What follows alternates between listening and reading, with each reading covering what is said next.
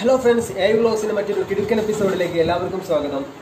അപ്പോൾ ഇന്നത്തെ ഒരു വീഡിയോ ഒരു സ്പെഷ്യൽ വീഡിയോ ആണ്.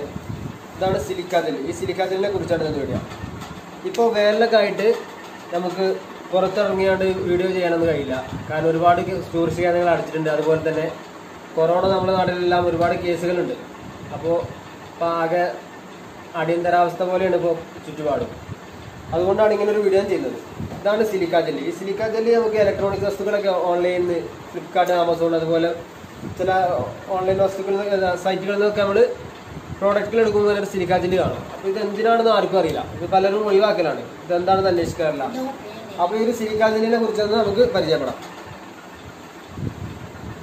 ഈ സിലിക്ക ജെല്ല് മുഖ്യമായി ഉപയോഗിക്കുന്നത് വസ്തുക്കളിലുള്ള ഈർപ്പം കളയാനാണ്. ഇപ്പോൾ ഇലക്ട്രോണിക് വസ്തുക്കളിലൊക്കെ ജലാംശം അടങ്ങിയാൽ അത് പെട്ടെന്ന് തുരുമ്പിടിച്ചാൽ സാധ്യതയുണ്ട്. അതുകൊണ്ടാണ് ഈ സിലിക്കാജിൽ ഉപയോഗിക്കുന്നത്.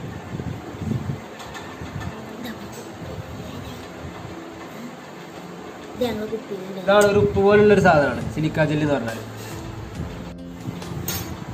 ഇതാ ഫാൻ ഓഫ്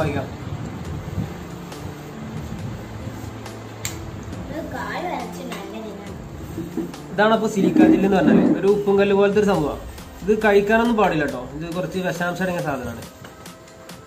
അപ്പോൾ ഈ സിലിക്ക ജെല്ല് ഇത് പെട്ടെന്ന് തന്നെ റിയാക്ട് ചെയ്യും. ജലാംശങ്ങളിലൂടെയൊക്കെ പെട്ടെന്ന് റിയാക്ട് ചെയ്യും. ഇപ്പോൾ തന്നെ ഇത് കണ്ടില്ല പൊടിഞ്ഞ്? ഇത് പ്രകൃതിയിൽ പെട്ടെന്ന് ഇണങ്ങുകയും അതുപോലെ തന്നെ ജലാംശം പെട്ടെന്ന് വലിച്ചെടുക്കുകയും ചെയ്യും. അതുകൊണ്ടാണ് ഇതിങ്ങനെ പെട്ടെന്ന് അലിയുന്നത്. നിങ്ങൾക്ക് കാണാം. ആദ്യം എന്തൊരു വലിപ്പം ഉണ്ടായിരുന്നു ഇതിങ്ങനെ അലിഞ്ഞുകൊണ്ടിരിക്കും. ഇതിലേക്ക് നമുക്ക് കുറച്ച് പൊട്ടാസ്യം പെർബാഗ്നേറ്റ് ഒന്ന് ചെയ്ത് കൊടുക്കാം. അതാണ് പൊട്ടാസ്യം പെർബാഗ്നേറ്റ് ഒന്ന് ഇതിലേക്കൊന്ന് ഇട്ട് കൊടുക്കാം.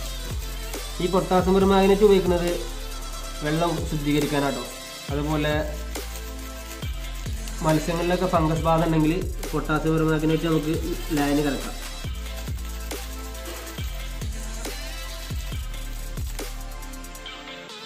നന്നായിട്ടൊന്ന് മിക്സ് ചെയ്യാം.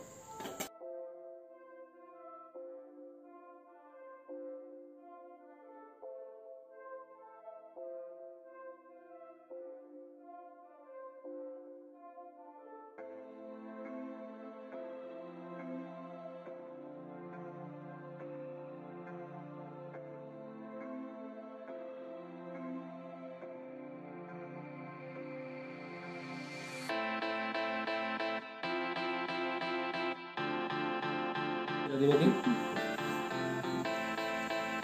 No, no, no,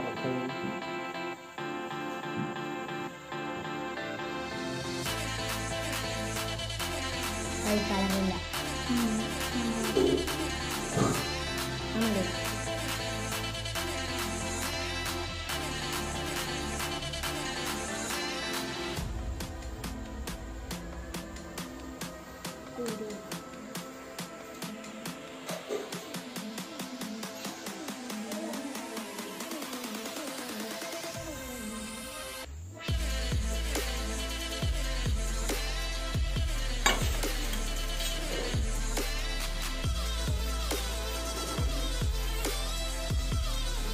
save ചെയ്യണോ?